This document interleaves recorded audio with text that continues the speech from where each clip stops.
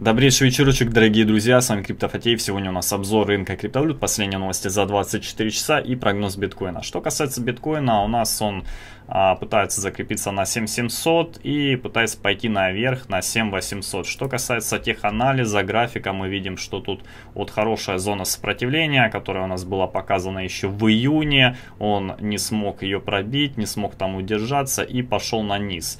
А сейчас у нас будет развязка, куда биткоин шагнет, либо шагнет он наверх. А, будет такое манипуляционное движение, что мы типа прошли эту зону сопротивления и идем наверх то есть так киты решат, а, либо мы сразу пойдем на низ. Я считаю, что после такого роста, а, которая длится у нас с 14 числа, и уже биткоин подорожал, ой-ой-ой, скоро подорожает почти на 2000, да, если это будет 8100, а, мы можем сказать, что э, падение, оно будет, будет очень серьезное, и падение будет с собой вести непосредственно именно снижение капитализации биткоина. То есть, если мы посмотрим, а, действительно оно так и будет. Весь график, весь теханализ показывает то, что после а, роста биткоина идет снижение. Но, правда, здесь я показал, мы находимся в нисходящем движении, а здесь мы находимся якобы в развороте. Но рынок не растет, растет только биткоин. Это тоже нужно учитывать. И а, поэтому тут а, с нами может все это сыграть в злую шутку. Ну вот, например, подобную ситуацию мы видели здесь, когда биткоин рос-рос, потом очень сильно упал, и мы видим, что падение зачастую бывает куда сильнее, чем рост. И здесь а, точно так же был, был рост и потом сильное падение. Поэтому это нужно учитывать. Тот, кто сейчас в биткоине, у него есть какие-то позиции, а, я считаю, что нужно выходить, потому что можно доиграться, да, то есть э, очевидно, что уже скоро будет падение. Но я считаю, что в краткосроке у нас диапазон это 7700, 7800, это уже а, там, где мы будем закреплены и потом непосредственно снижение, жесткое падение рынка. Это мои мысли, вы можете с этим не соглашаться и как бы вам решать. Что касается альтов, я вчера обозначил альты, которые находятся на дне. Когда будет биткоин падать, я считаю, будет исключительно падать биткоин, а не весь рынок, потому что качают биткоин, а альты находятся на прежних позициях. А, конечно, с по альтам я думаю и считаю, что это тоже ударит, но ударит не сильно. То есть падение, которое будет биткоина, оно не сильно ударит по ним. А, и если мы будем говорить про те альты, которые я рекомендовал, вы можете посмотреть, что это те цены, которые были после выхода вот этих альтов, да, то есть цена, например, Quantum, она была в июле прошлого года, вот практически один год назад она была вот эти позиции, то есть она была и стоила 7 долларов 34 цента.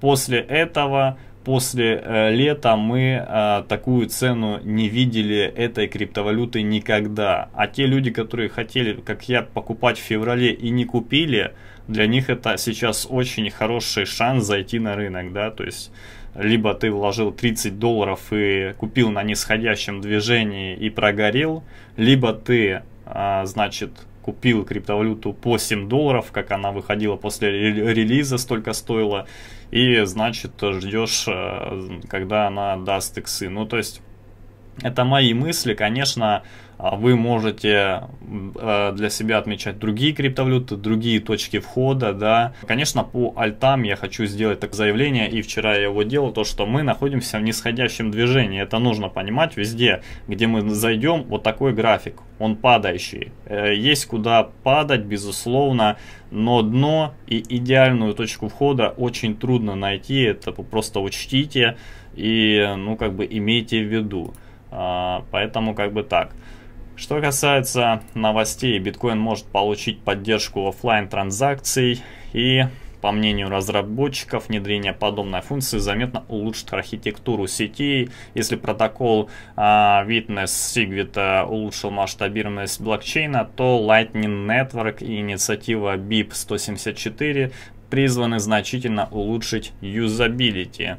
Ну и также идею поддержал и Питер Грей, основатель стартапа CoinKite. И в свой кошелек ColdCard компания уже добавила поддержку транзакций с частичной подписью. Биткоин, биткоин кэш, эфириум и лайткоин появились в конвертере валют Google. Я это еще заметил три дня назад, но я вам не говорил, потому что думаю, мы появились, появились, что такого. И по умолчанию сервис показывает курс по отношению к местной валюте. А что хочется лично от себя отметить, э, это такой неплохой, значит, шаг в сторону криптовалют, то есть если уже Google так начинает внедрять, и, кстати, Google не отменил рекламу ICO, хотя грозился в июне, мы все с 1 июня отменяем рекламу ICO, но реклама еще крутится, это говорит о том, что либо Google в будущем будет сотрудничать и поддерживать всяческие криптовалюты, либо-либо. Ну, кстати, нужно еще заметить, что Google хотел себе, значит, пере манить а, разработчика эфириума. Поэтому я считаю, что Google э, все-таки поддерживает криптовалюты, но, значит, негативно относится к ICO. Хотя реклама еще крутится, еще раз хочу заявить. Майк Новоград, производительность iOS скоро достигнет 50 тысяч транзакций в секунду. Кстати, когда я сравнивал iOS и эфириум, мне почему-то, блин, пошли оскорбления о том, что iOS таких транзакций не будет поддерживать. А тогда, когда я сравнивал iOS и эфириум, я говорил, что iOS вполне может достичь 50 тысяч транзакций в секунду. А мне говорили, что ты за дичь говоришь, и вот, пожалуйста, уже авторитетные лица говорят об этом. И уже сейчас производительность сети достигает 5000 транзакций в секунду, и этот показатель возрастет до 50 тысяч в ближайшие месяцы. Я думаю, думаю, институциональные инвесторы понемногу начинают понимать, что блокчейн станет Web 3.0, и, и они захотят принять участие в этом точно так же, как и было в момент развития всемирной сети.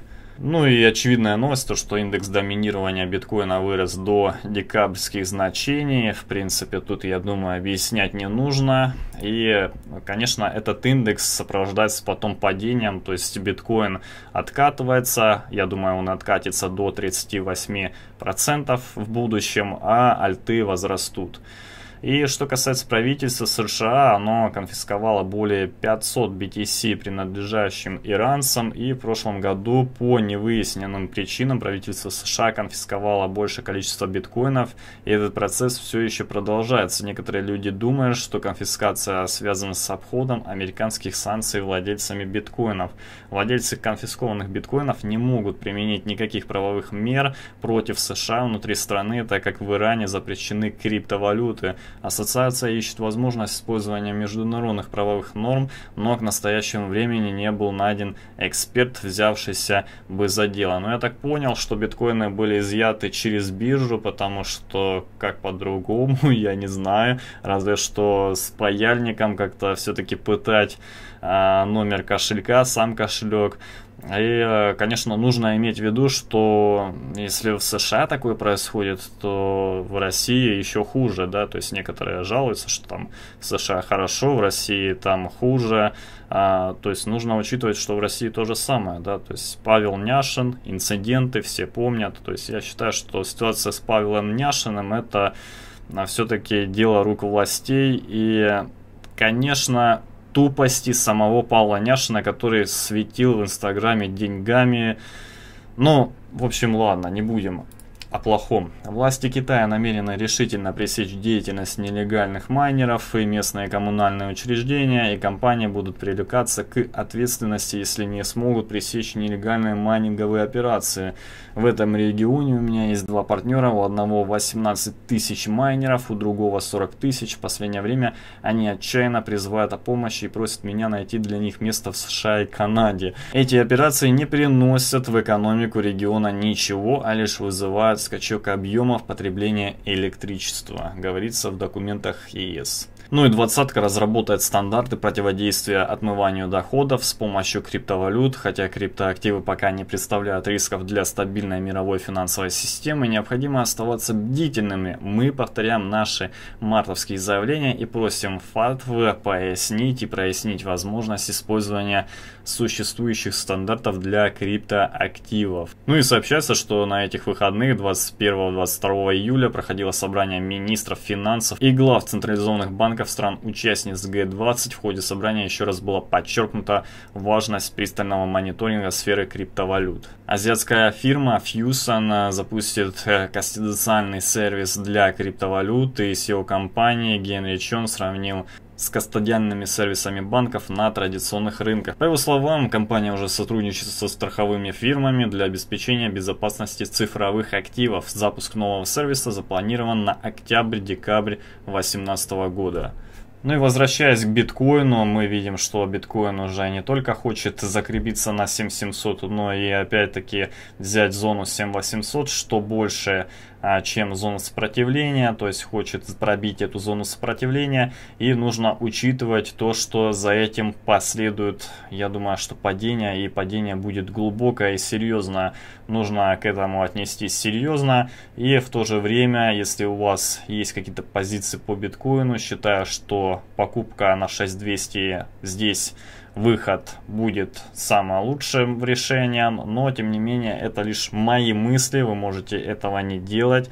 Я лишь констатирую тот факт, что у нас рост продолжается и очень долго он так не продолжится. Ну а с вами был Криптофатеев, всем удачи и всем пока.